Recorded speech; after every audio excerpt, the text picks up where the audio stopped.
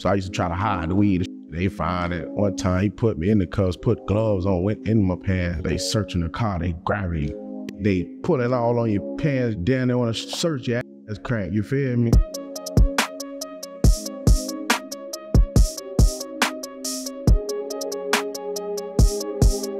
Hey, it's your boy BossMan Dlow, aka Bizar, man. And we doing first with Rap TV, man. Yeah.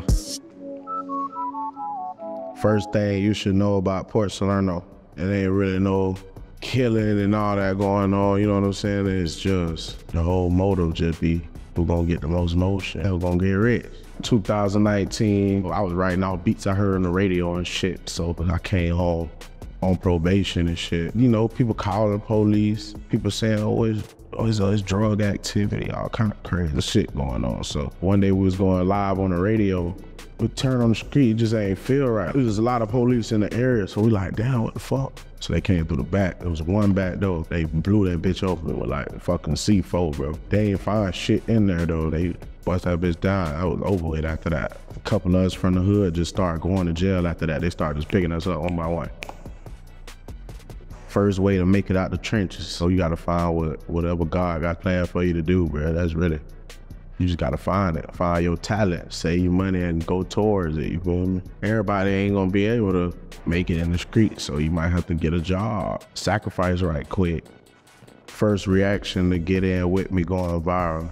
Shit was crazy just looking at the phone and seeing big artists reposted and freestyle on the beat and shit. Like that shit crazy, bro. You feel me? Yeah, my first, I was really surprised though, for real, for real. First time I got in trouble at school, we got caught doing some shit that was like when school was closed type shit. You feel me? Like they came back, we was tripping, bro. I think we was just smoking weed on that shit. We seen a janitor, we we took our running, you feel me? First time going to juvenile detention. Like when I was 15, like it was I ain't really know how to deal with the police. You know, I used to panic and shit. So I used to try to hide the weed and shit. They find it. One time he put me in the cuffs, put gloves on, went in my pants. You feel me? Like shit crazy, bro. They searching the car, they grabbing dick, they put it all on your pants, your drawers, they damn they wanna search your ass crack. You feel me? For real, this shit was crazy, bro.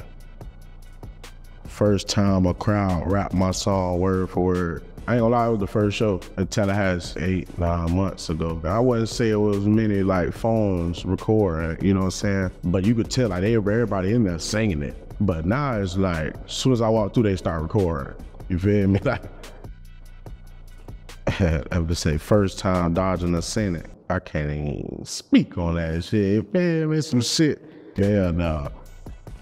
First rapper that I looked up to, probably Wiz Khalifa. Wiz Khalifa, you put him on just, you know what I'm saying? Smoke weed, get some money. You feel me? Fuck bitches, have you a good day. Like that's just his vibe. I fuck, bro. what first first time scraping the pot? scraping the pot. I probably really get in the trenches to about 15, 16. First time a fan got out of pocket. All the fans been straight, bro. You know, they be a little too excited sometimes, but they all right. Probably two, three shows ago, it was crazy. We leaving, female beating on the car like, hello. The crazy, right? The first time encountering a hater. Boy, it plenty of them. You feel me? I can't remember the first time. Is it too much of uh, You feel me? I understand everybody ain't gonna be, oh, I love this. I don't even want that, cause that's fake. You feel me? When you down bad, that's when people love you like that. When you up and you got shit going, you know, people got shit to say. You do, do you know what I'm saying? I don't even worry about that shit. That shit don't do nothing to me, bro. I promise. First way to boss up your life, you gotta get that mindset right. It take a different kind of mindset to be a boss. You gotta know how to sacrifice, stay around, complete the mission. You feel me? You can't get thrown off by nothing. You can't get distracted. That's just boss mentality, bro and to make everybody else bosses around you.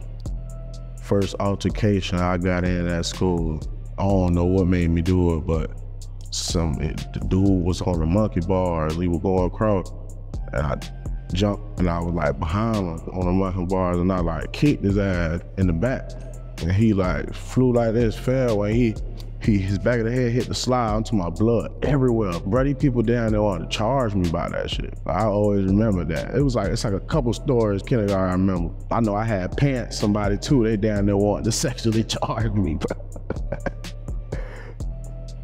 First time I got expelled, yeah, that was 10th grade. I had, uh, got caught with that damn weed. It wasn't like I was in school campus with the weed, you feel me? Or I'm on here selling the weed. Like shit was in my car, I'm leaving school.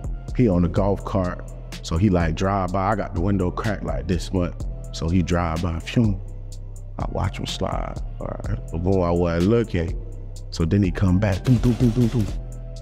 I look like, oh shit. Like, bro, you ain't here smoking, bro? I'm like, bro, do you see any smoke? I'm not smoking. He like, all right, bro, well, I smell a strong odor of marijuana, bro. You mind if you just just pull to the side for me, man? So like he telling me pull to the side. I'm trying to hurry up because I got the weed in the door right here. So I'm trying to hurry up and pull to the side. But he like walk faster with the car. He like, hold on, no, bro, don't, don't, don't, don't go too fast. I'm trying to watch you. I'm like, damn. I go, I pull to the side. I like, fuck, I couldn't grab the shit, so I let him search.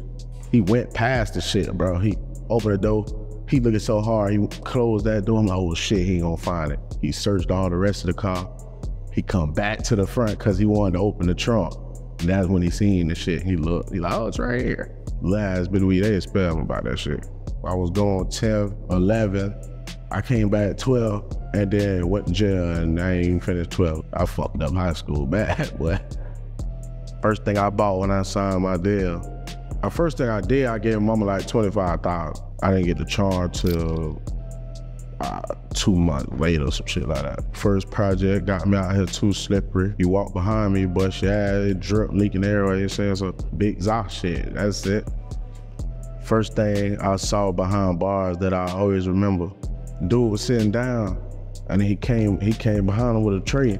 And just the way he hit him, I think he hit him crazy, like with the corner of the tread. I what turned around, his shit was like dismembered. That the first time I see like a jaw break, like that bitch really broke, bro. It was kind of like fights going on, like repeatedly and shit. I was already in the mode of like, man, you might well just go ahead and expect whatever in this bitch. It still was like, oh shit. Damn, boy, you got to be on beat in this bitch, that's it. First piece of advice that I give keep pushing. Anything you do that's gonna take that grind, you cannot skip that grind. I don't care if you're making clothes, selling draws, you flipping cars, whatever you doing, it gonna take that grind. It don't never just come off the top like that. You feel me? Hey, it's your boy BossMan Dlow, aka Big man, and you just watch first with Rap TV.